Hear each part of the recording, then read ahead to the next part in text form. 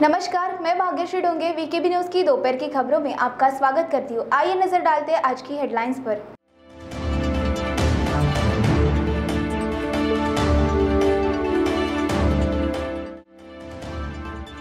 सुधीर मुनगंटीवार ने किया वरोरा तालुका का दौरा। अधिकारियों को तत्काल उपाय करने का दिया निर्देश।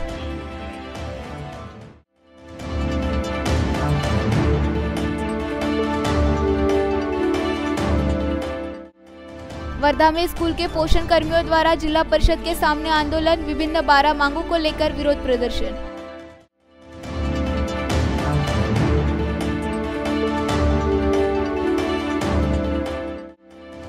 और विजय वडेट्टीवार की ओबीसी आरक्षण पर प्रतिक्रिया, शिंदे और फडणवीस की सरकार पर साधा निशाना।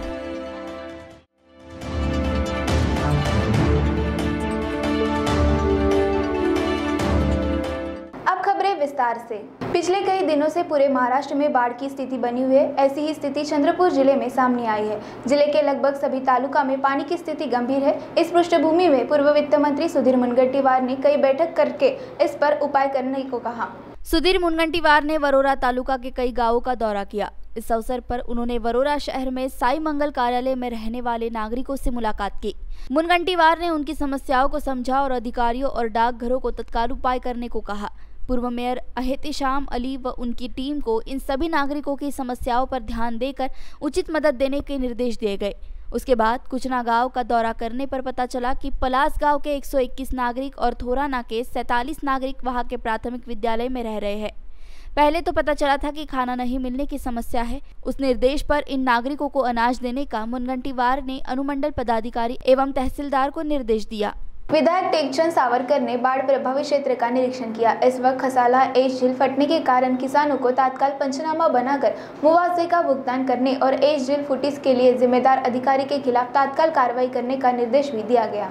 कामटी के कोराडी ताप विद्युत गृह का राग ताला फटने की सूचना मिलने के बाद खसाला, मसाला, कवथा, कोराडी, खेरी के गाँव में बड़ी मात्रा में राख बह गई। जिससे किसानों को भारी नुकसान हुआ। कामठी, मोडा विधानसभा विधायक टेकचंद सावरकर तत्काल संबंधित विभागों के अधिकारियों के साथ निरीक्षण दौरा किया। अक्षय पोयम, मुख्य अभियंता कोराडी ताप विद्युत गृह, श्री हारने महाद्वीपीय विकास अधिकारी अंशुजा गैराटे, कृषि विभाग, प्रदूषण विभाग के अधिकारी उपस्थित थे। इस अवसर पर बोलते हुए विधायक सावरकर ने प्रभावित क्षेत्रों के किसानों को हुए नुकसान का तत्काल पंचनामा देने का आदेश दिया और तत्काल मुआवजा देने का आदेश दिया और आश्वासन दिया की शिंदे फडणवीस सरकार में किसी भी किसान के साथ अन्याय नहीं होगा। साथ ही आदेश दिया कि बाढ़ से क्षतिग्रस्त सड़कों की मरम्मत महावितरण द्वारा तत्काल की जाए। इस मौके पर विधायक सावरकर ने गहरी नाराज़गी जताते हुए रिट झील को फोड़ने वाले अधिकारी के खिलाफ जाँच कर कार्रवाई करने के आदेश दिए।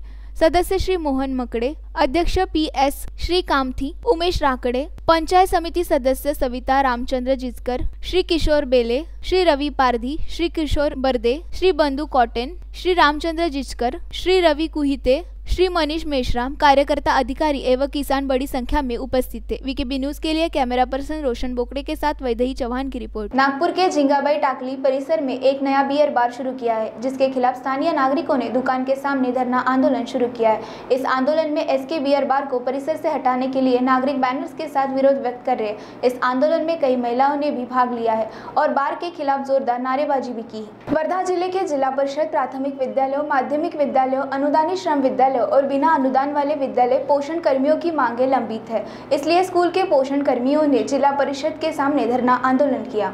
वर्धा ज़िले में पहली से आठवीं कक्षा तक के छात्रों को भोजन उपलब्ध कराने वाले जिला परिषद प्राथमिक विद्यालयों, माध्यमिक विद्यालयों, अनुदानित श्रम विद्यालयों और बिना अनुदान वाले विद्यालय पोषण कर्मियों की मांगे लंबित है। इसमें वे पाँच घंटे स्कूल के काम में बिताते हैं। उनके सामने एक सवाल खड़ा हो गया है कि महीने को महीने में कैसे बांटा जाए। अन्य राज्यों की तरह स्कूल पोषण कर्मियों को ग्यारह हज़ार देने के लिए आज पोषण कर्मियों ने जिला परिषद के समक्ष विभिन्न बारह मांगों को लेकर विरोध प्रदर्शन किया। जैसे कि वेतन दिया जाना चाहिए और सरकार द्वारा रोकी गई तेल की आपूर्ति तुरंत शुरू की जानी चाहिए और स्कूल के पोषण कर्मियों को बिना किसी जाँच के काम से नहीं हटाया जाना चाहिए। तू कामगार याच्यातून आलेले आहो. आमच्या शालेय पोषण याच्यातून आले. आम्हाला एकनाथ शिंदे मुख्यमंत्री यांना सांगायचं आहे का आमचं जे वेतन आहे खूप कमी आहे. पन्नास रुपये रोजामध्ये आमचं भागत नाही आहे. आणि पंधराशे रुपयेमध्ये आम्ही का करावं? आणि आमचं इंधन भाजीपाला याचे बी पैसे नाही येत आहे. आणि महागाई खूप वाढली आहे तर पन्नास रुपयामध्ये आमचं होत नाही मग म्हणून आम्ही आंदोलनाला उतरलो आहो आणि जर आमचं मा वाढ हे मागण्या पूर्ण नाही झाल्या तर आम्ही याच्यापेक्षा जास्त आंदोलनाला उतरू आणि पुन्हा रोडवर नेहमी नेहमी उतरत राहू अशी आमची आम्ही सिटू संघटनेच्या वतीने आमच्या बा शालेय पोषण आहाराच्या बारा मागण्या आहे. त्यामध्ये आमचं सर्वात पहिले मा मागणी आहे की आमचा वाढ पगार व्हायला पाहिजे. त्यानंतर दुसरी मागणी आहे की आमचं सेंट्रल किचन बंद व्हायला पाहिजे. आम्हाला शासकीय दर्जेचा ला मान मान मिळाला पाहिजे. आणि आम्हाला तामिळनाडूप्रमाणे अकरा हजार रुपयाची मानधन मिळालं पाहिजे आणि ह्या बारा मागण्या आम्ही स- ग गव्हर्मेंटला मागू इच्छितो आणि आम्हाला जर आम्ही या ग आमच्या मान्य केले नाही गव्हर्मेंटनी ग केंद्र सरकार आणि राज्य सरकारने तर आम्ही यापेक्षाही जास्त त्रि तीव्र आंदोलन करू करणार आहोत. ल्या मधल्या बाया हो, सिटीमधल्या आम्हाला पेन्शन आम्हाला पेन्शन लागू पाहिजे. आणि आम्हाला एक तर आम्हाला पंधराशे रुपये मिळते त्या पंधराशे रुपयामध्ये आम्हाला भागत नाही. आणि आम्हाला तामिळनाडूप्रमाणे आम्हाला अकरा हजार मानधन पाहिजे. आणि आम्हाला महिन्याच्या महिन्या पेमेंट मिळत नाही. दोन दोन चार चार महिने पेमेंट मिळते. त्या पेमेंटमध्ये आम्हाला काहीच भागत नाही. आम्हाला दोन दोन तीन तीन महिने आम्हाला असंच राहावं लागते. आणि आम्हाला एवढी विनंती आहे केंद्र प्रमुख यांना की आम्हाला आमच्या मानधनाचा वाढ करावा. नाही तर आम्ही याच्यावर या आंदोलनमध्ये तीव्र आंदोलन करू हे आमची अपेक्षा आहे. जिल्हा परिषद प्राथमिक शाळेमध्ये आहार शिजवते. आम्हाला पंधराशे रुपयामध्ये काहीच मिळत नाही. म्हणजे भाजीपालासुद्धा होत नाही आमचा. तर आम्हाला म्हणजे कसं आहे तेल भाजीपाला हे स्वतः काढून पण आम्हाला काही त्याच्यातलं भेटत नाही. तरी सरकार असो किंवा राज्य सॉरी सरकार असो की राज्य सर केंद्र सरकार असो की राज्य सरकार असो यांनी शासनाने बंद केलेले तेलाचा पुरवठा तात्काळने सुरू करावा. खबरों के सिलसिले में वक्त हो चला है ब्रेक का. मिलते हैं ब्रेक के बाद. बाय सब जानना चाहते हैं। मेरा फेवरेट कलर मेरा फेवरेट डेस्टिनेशन मेरी फेवरेट डिश पर कोई ये नहीं पूछता कि फेवरेट डिश मैं बनाती कैसे हूँ। अरे यार। जिसे टेस्टी खाना पसंद है वो अच्छे टेस्ट तक पहुँच ही जाता है। सुरुचि मसाले। खाने में हो रुचि तो घर लाइए सुरुचि। सपनों की उड़ान भरने की इच्छा तो हर किसी की होती है। पर पंख भी तो मज़बूत होने चाहिए।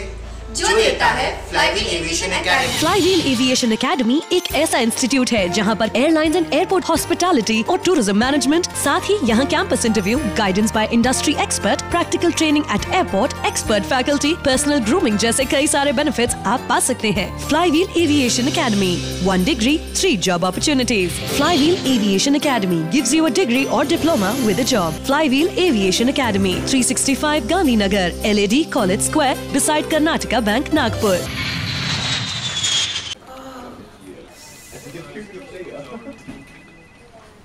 boss ने मीटिंग बुलाई। क्या यार? आदमी की तकलीफ़ को तो समझो। बाहर बाहर उठो बैठो उठो बैठो। जनाब तकलीफ़ उठने बैठने की नहीं।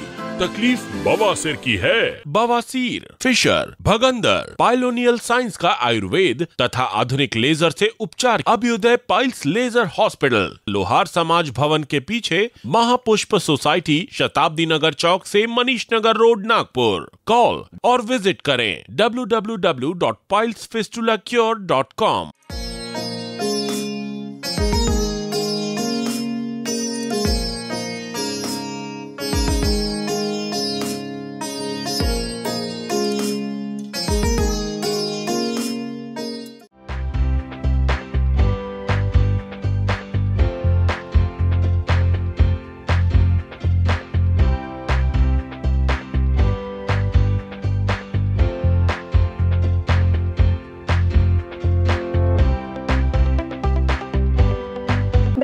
आप सभी का स्वागत। नागपुर के ओबेराय पैलेस सेलिब्रेशन में महाराष्ट्र ग्लैम सीज़न तीन का आयोजन किया गया था, जिसमें विजेताओं की घोषणा की गई है।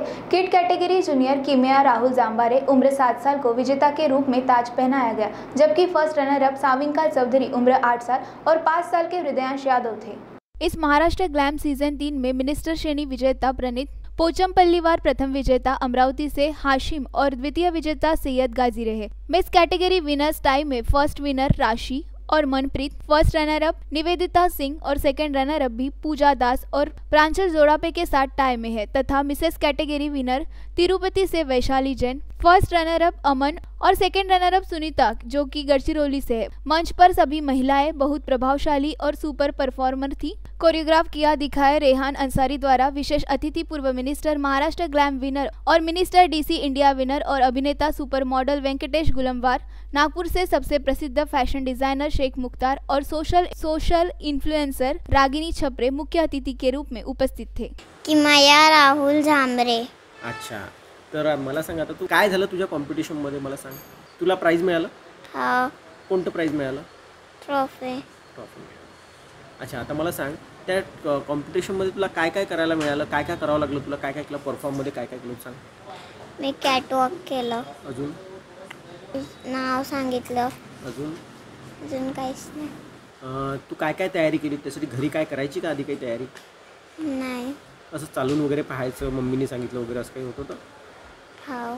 काय होतं चांगलं जरा मला अपनी करम ही अपनी पहचान है वरना एक नाम के हज़ारों इंसान हैं। My name is Kimaya Rahul Jhamre I am seven years old I am from orange city of Nagpur my school name is Delhi public school my hobby is acting and modelling thank you ताई काय सांगाल? कशा पद्धतीचं competition होते ज्यामध्ये तुमच्या मुलींनी prize जिंकलेला आहे आणि एकंदरीत कशी तयारी होते? हे महाराष्ट्र किड्सचं कॉम्पिटिशन होतं. ॲक्च्युली मला हे एक दिवसाआधीच क्रॅक झालं की इथे कॉम्पिटिशन्स आहे म्हणून. तर मी माझ्या मुलीने आजपर्यंत कधीच रॅम शो केला नाही कधीच तिने कोणत्या कॉम्पिटिशन्सला क्रॅक नाही केलेलं आहे. तिचं हे फर्स्ट टाईम होतं की तिने फॅशन शोमध्ये भाग घेतलेला होता. घरी ती तशी फॅशन शोबद्दल किंवा ॲक्टिंग डान्सिंग याच्यामध्ये तिचं स्वतःचं इनबिल्ट आहे ती स्वतः करत असते. तर मी तिचं ते टॅलेंट बघितलं आहे लहानपणापासून की हिला इंटरेस्ट आहे ह्या गोष्टीमध्ये. अभ्यासाच्या व्यतिरिक्तसुद्धा हिचं अदर काही गोष्टीमध्ये इंटरेस्ट आहे. तर मला हा फॅशन शो माहीत झाला तर मी म्हटलं आपण एकदा चान्स घेऊन बघूया. आणि म्हणजे तिला मला असं काही अपेक्षित नव्हतं की ही इथे विनरच बनेल म्हणून. पण मी तिला म्हणजे रॅम वॉक कसा असतो कॉम्पिटिशन्स कसे होतात कॅमेरा फेसिंग्स कसं होतात ह्या सगळ्या गोष्टी मला तिला शिकवायच्या होत्या. त्याच्यामुळे ह्या फॅशन शो थ्रू तिला खूप काही गोष्टी शिकायला मिळाल्या. आणि बाय लक ती तिथे विनर झाली. आणि मी खूप प्राऊड आहे त्या गोष्टीसाठी की माझी मुलगी फर्स्ट टाईम रॅम वॉकसाठी तिने कॉम्पिटिशनमध्ये भाग घेतला आणि ती पहिल्यांदाच विनर झाली. नागपूरमध्ये कॉम्पिटिशन्स होत असतात. पण मुलांना म्हणजे असं चान्स दिले पाहिजे. ज्या मुलांना खरंच म्हणजे ज्यांच्यामध्ये टॅलेंट आहे त्यांच्या पॅरेंट्सनी आपल्या मुलांना पहिलेचे जे पॅरेंट्स होते त्यांचं म्हणजे एवढं ह्या ज्या फील्डमध्ये आहे त्यांच्यामध्ये त्यांचं एवढं इंटरेस्ट नव्हतात. ते या फील्डला अदर वेनी ट्रीट करायचे. पण आताचे जे पॅरेंट्स आहे ते जेव्हा आपल्या मुलांना बघतात ते त्यांना असं वाटते की आपले मुले कुठेतरी समोर गेले पाहिजेत. कोणत्या तरी याच्यामध्ये अभ्यास सोडून कोणत्या तरी अदर क्षेत्रामध्ये त्यांचं स्वतःचं टॅलेंट त्यांनी दाखवलं पाहिजे. त्या प्रकारे पॅरेंट्सनी माझं असं म्हणणं आहे की नागपूरमध्ये जे पण पॅरेंट्स आहेत त्यांचे मुलं जर खरंच ॲक्टिव्ह असतील ॲक्टिंगमध्ये म्हणा डान्सिंगमध्ये म्हणा रॅममध्ये म्हणा अदर कोणतं पण तर त्यांनी खरंच आपल्या मुलांना समोर म्हणजे कोणते पण शोज होतील किंवा काही पण ॲक्टिव्हिटीज नागपूर सिटीमध्ये होतील तर त्यांनी आपल्या मुलांना कॉम्पिटिशन्स क्रॅक करायला लावायला पाहिजे. आणि असं पॅरेंट्सनी हे नाही बघितलं पाहिजे की माझा मुलगा जर फ़र्स्ट टाईम इथे आलेला आहे तर तो विनरच होऊन गेला पाहिजे म्हणून. ब्यूटिशियन बबीता सावरकर द्वारा मानसर ग्राम पंचायत हॉल में मेकअप सेमिनार का आयोजन किया गया था. इस सेमिनार की मुख्य अतिथि शीतल करवाड़े थी जबकि इस सेमिनार में 128 ब्यूटिशियन और छात्र उपस्थित थे। नागपुर से तीन मेकअप आर्टिस्ट थे जो अपनी तीन मॉडल लेकर आए थे। ममता बसवार ने महालक्ष्मी लुक दिया प्रगति मेकओवर ने रजवाड़ा लुक और मोहिनी मेकओवर ने महाराष्ट्र लुक दिया था। खूबसूरती से किए गए मेकअप और वेशभूषा से सभी उपस्थित लोगों का दिल जीत लिया। कार्यक्रम को उत्साहजनक प्रतिक्रिया मिली। इस सेमिनार की फ़ी तीन सौ संगोष्ठी में भाग लेने वालों को ट्रॉफी और प्रमाण पत्र दिए गए।